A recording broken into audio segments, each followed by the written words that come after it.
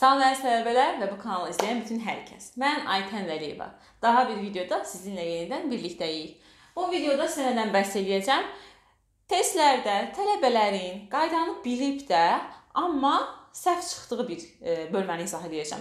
Düzdür, mən sizlə razılaşıram. Hal-hazırda mənim Instagram səhifəmə də dünəndən etibarən çoxlu-çoxlu bu barədə mesajlar gəlmişdi ki, biz bu qaydaları tətbiq edirik, amma səhv çıxır cavablarda. Bunun xüsusi bir halı varmı, yoxsa bu nədir? Niyə səhv çıxır? Biz mi səhv öyrənmişik? İndi gəlin onlardan danışaq. Yəni 3 dənə bizə lazım olan hə, yəni İkincisini biraz ehtimalla yazmışam. Nə mənada ehtimalla? Yəni testlərdə çox istifadə olunmur o qədər, amma yenə də yazmışam ki, yəni biləsiniz. Deməli, bunlar nədir? Bunlar daha başqa mənasını bildirən sözlərdir.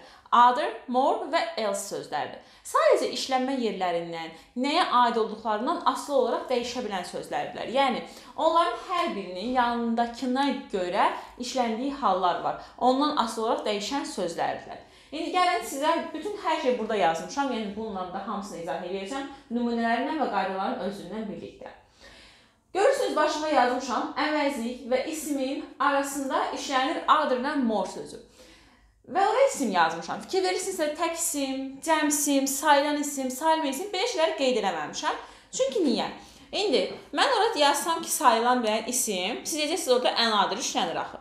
Cəm isim yazsam, okey, other olur. Başqa bir şey yazsam, orada deadır niyə olmasın? Yəni görürsüz, versiyalar çoxaldı. Yəni ora tək isim yazsaydım, deyəcəydiniz ki, another işlənir. Mən sizlə razıyam. Another-dan sonra sayıla bilən tək isim gəlir. Amma bu qayda onu itirəcək. Niyə itirəcək onu deyək.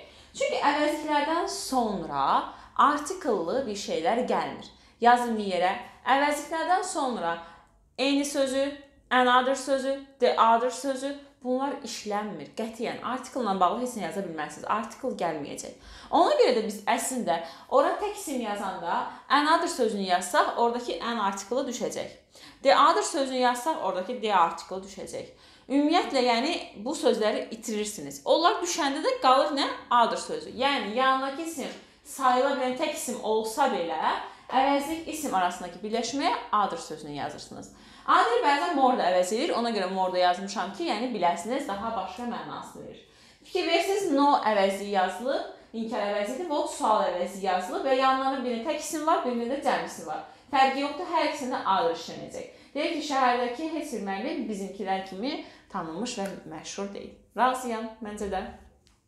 Növbətisi nədir? Deyək ki, sən başqa hansı kitabları oxumusan mənasındadır. Yenə yandakı ismi yenirik. Cəmdə, təkdə, sayılan, sayılmayan bunun olmasından biraz asılı olmayaraq siz əvəzlik isim birləşməsini görürsünüzsə, onlar arasında yazırsınız adır sözünü.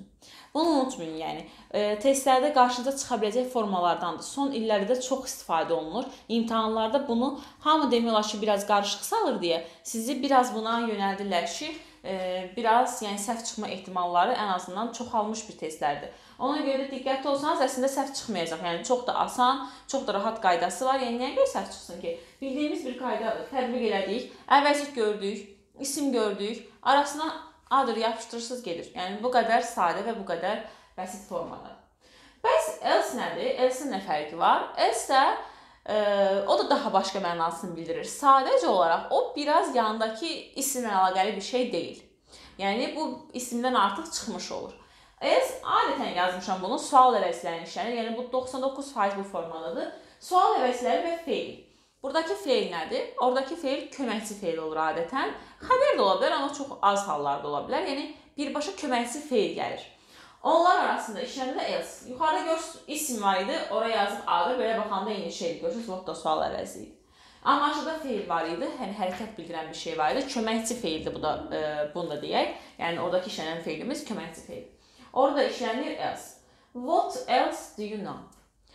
Daha başqa nə bilirsən? Görürsüz, köməkçi və orada else işlənir. Yəni bunun başqa cür terminoloji dillərdə də deyə bilərəm, amma mən elə istəmirəm. Yəni sizə sadə, rahat bir dildə olsun ki, yəni else-in işlənmə yerini bilək ki, sual əvəzlərindən adətən gəlir köməkçi feillərin arasında. Və ikinci bir halı isə törəmələrdən sonra adətən də else işlənir. There is something else you have to know. Yəni bilməli olacağın, yəni 100% bilməli olduğun başqa bir şey daha var mənasında istifadə olunur. Something else, nothing else, nobody else, anybody else.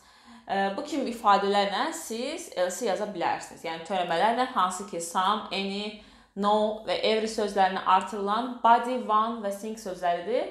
Hətta everywhere də işlənir. Yəni daha doğrusu where sözləri də işlənir.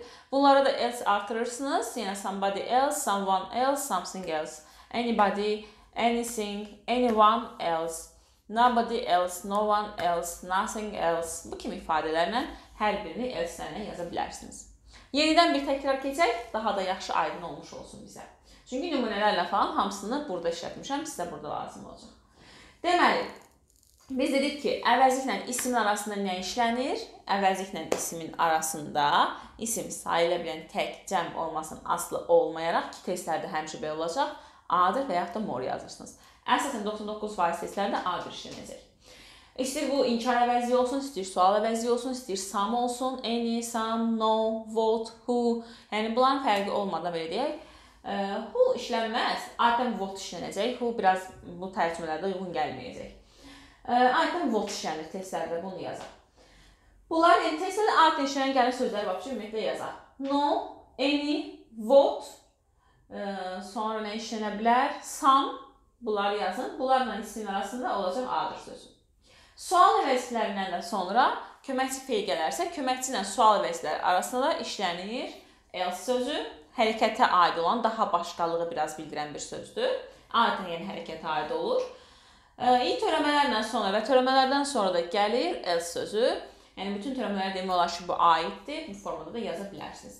Mən sizə burada istifadə olunan nümunələrdəki ən çoxları yazmışam. Burada who else ya da what else ən çox istifadə olunur. Yazın sual əvəzləri yanında who else ya da what else sonra feil.